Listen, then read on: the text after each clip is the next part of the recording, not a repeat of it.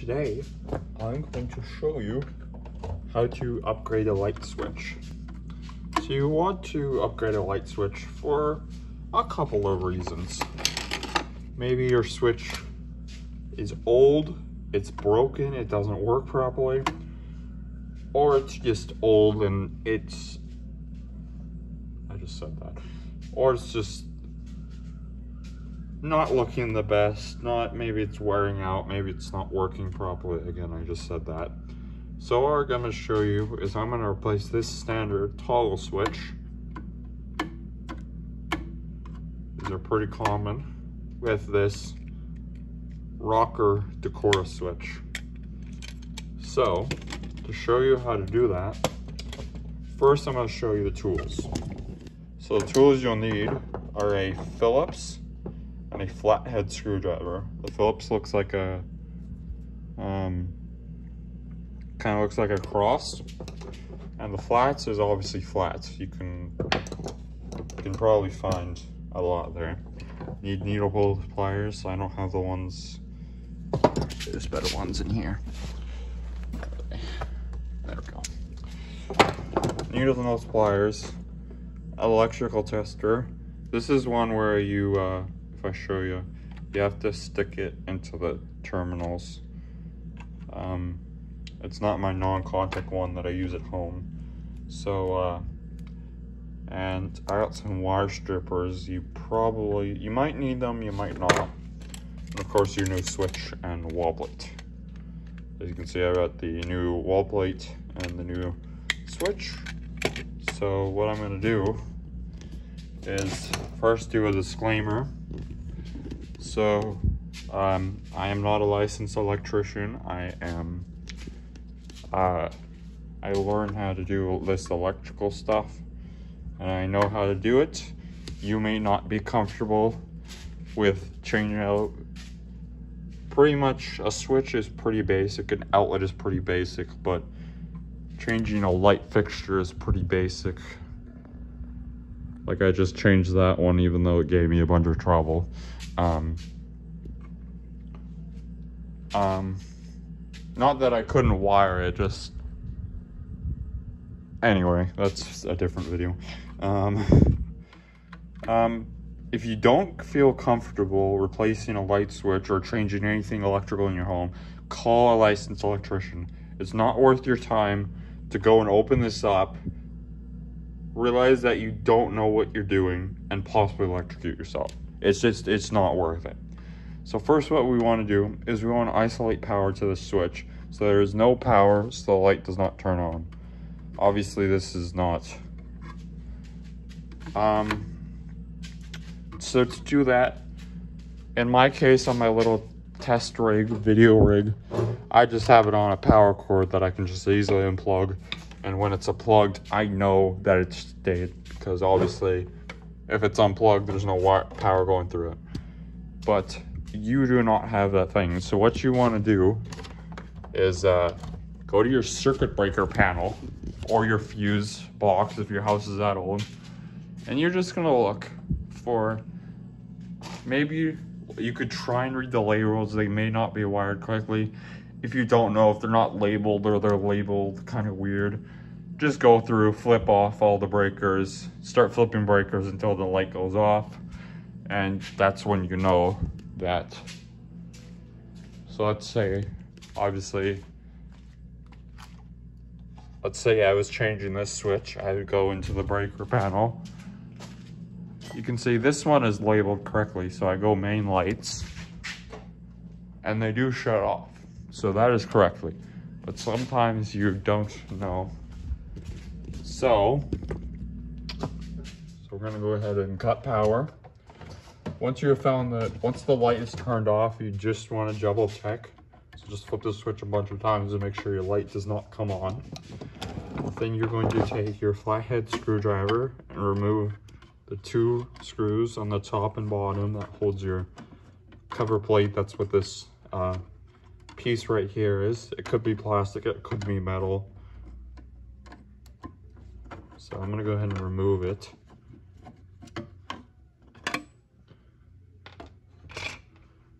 And while I got the screwdriver out, I'm just gonna remove these two, uh, remove the new switch from the plate. I just, this is how I store it. Um, so I'm gonna take my Phillips head screwdriver I'm going to go ahead and these two screws here, you're gonna go ahead and remove those. You're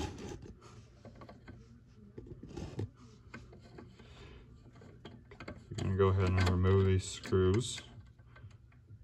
Normally, if you buy a new switch from the store, it's gonna have new screws, so you can discard these, throw them away with your old switch, or if you want to keep them with the old switch. This particular switch I'm replacing with, I replaced it, so this switch came out of a, I removed it so it didn't have screws, because I needed screws for a new switch. I put it because that one also didn't have screws because I also removed it. Someone's car alarm is going off outside.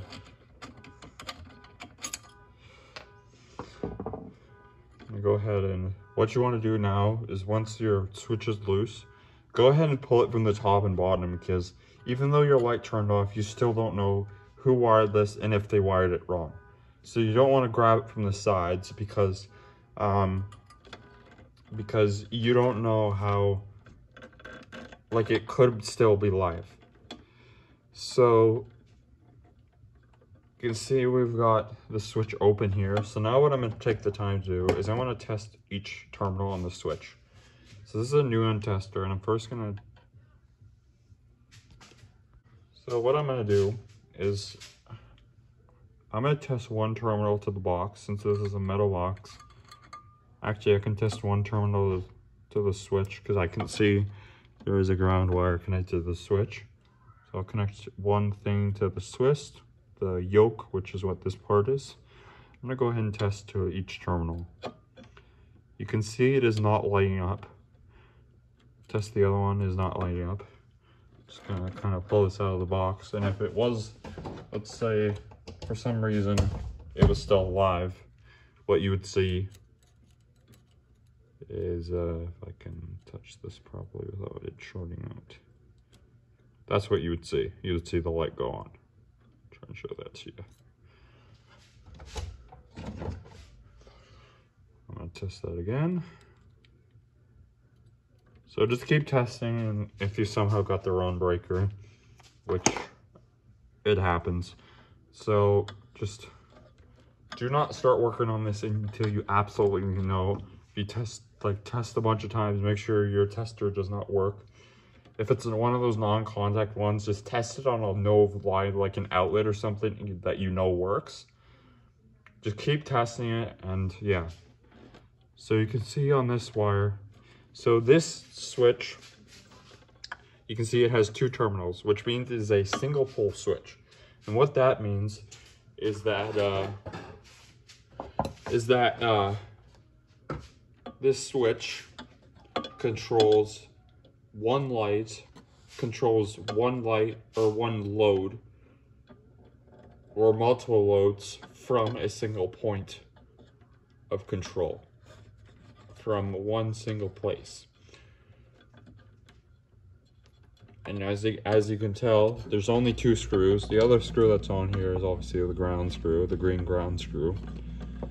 So let's look at our wires here. So connected to our one of our screws, I got a black wire. Um, that one looks like it goes into this bundle of wires here. This wire nut, this blue one right here, which then connects to my incoming power. I know because I wired this. And the other wire is a red wire, which I would assume yeah, it just goes up into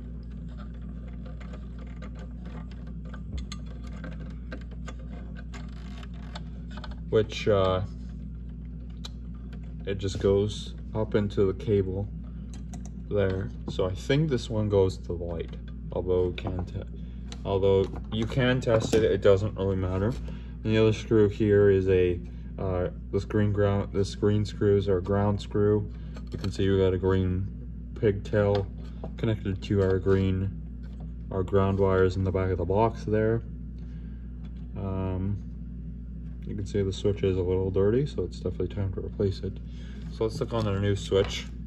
So you can see we've got still got the two screw terminals. Um, the two brass screw terminals. Those are our um, where our hot wires go. One wire will, our black wire will go to one of these screw terminals and our red wire will, your wire colors may be different, but what wire, basically it's pretty easy. You just connect, um, you just connect your wires that are on your brass screws of your old switch to your new switch. Now what I'm looking at this one is that there is no ground screw. And the reason why, well actually not the reason, but once I screw this in to the junction box, the grounded junction box, uh, J-box with these metal screws, it will ground it. So what I need to do, so I guess that ground is not needed. So we're gonna go ahead and disconnect stuff. So what I like to do is just, so easy to not mess anything up. Just turn it this way so I can show you what I'm doing. I'm just gonna go ahead and move one wire over. So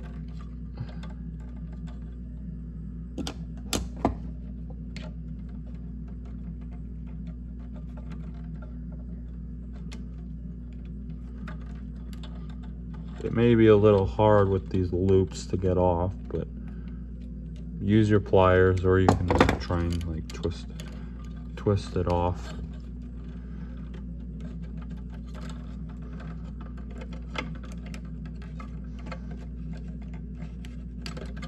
That one's off. So on our new switch here, uh, we have a couple of pots for spots for hooking our wires up to. I'm just gonna go ahead and loosen this other terminal. So we can just wrap the wire around the screw or on the screw there's these plates here. These plates here. You put the wire in there, you clamp, screw down on the screw and uh, it clamps on the wire, which is a pretty good method.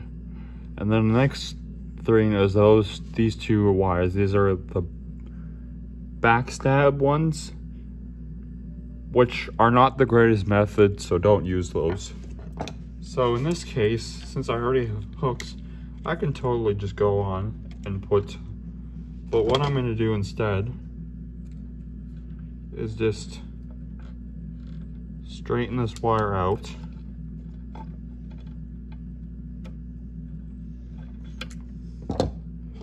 And then all I need to do is just put it inside that plate.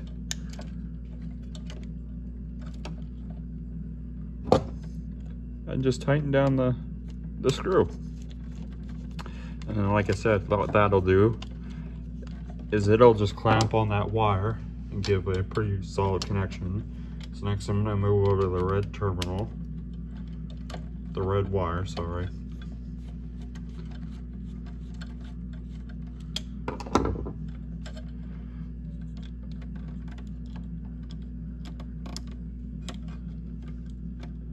This one I'm just gonna show you what the grounds, the screw terminal, it's just like the other one. What you wanna do is make sure your wire is looped the same way you are tightening your screw. So if I'm tightening it to the left, or to the right, sorry, righty-tighty, lefty-loosey, then I want that to go on there the same way so that when I tighten it down, the wire is not going to back out. It's not going to unwrap. Now, the last screw is our ground screw. And I mentioned this switch doesn't have a ground screw. So what I'm going to do is just, I just grab the screwdriver. Actually, it's right because these screws both except Phillips and flathead. And also the square one. As you can see, it all switches out. So all I'm gonna do is just for safety, I don't want to shove this back in the box because it could come out and touch one of these terminals and that's not, sorry about that. So anyway, so I don't want the, like I was saying, I don't want this, like I could probably put this in the back of the box and we probably be fine.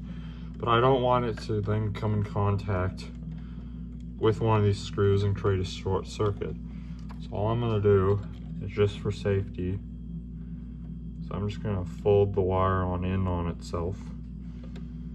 And then I'm just gonna put a wire nut over it. At least I'm gonna try to.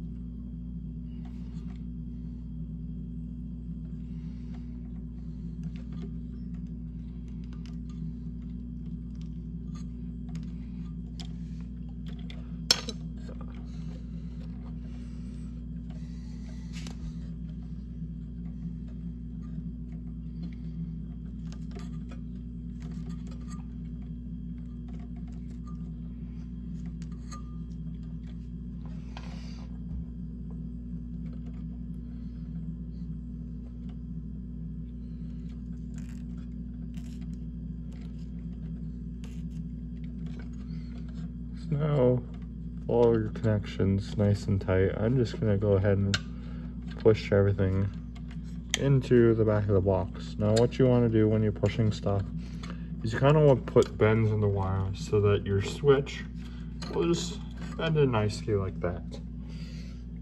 So then what I'm gonna do is I'm gonna take the two screws that I the two screws again if you just bought your switch directly from a hardware store or Home Depot or or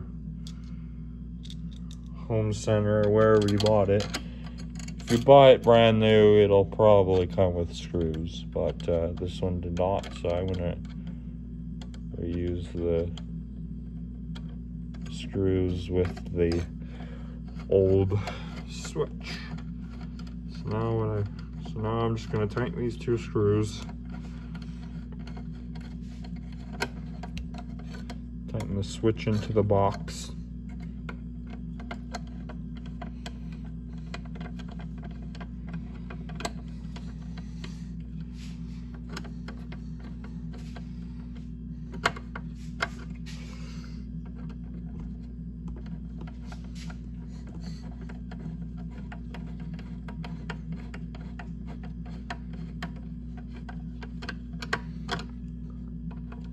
Just like that.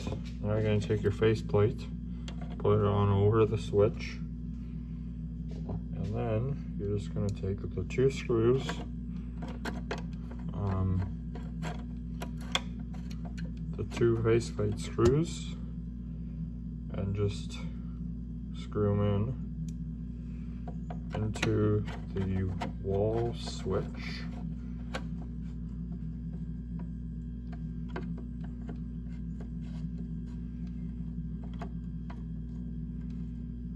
Into the wall switch, into the switch, and then you're gonna restore power at your circuit breaker, and then test your switch for operation.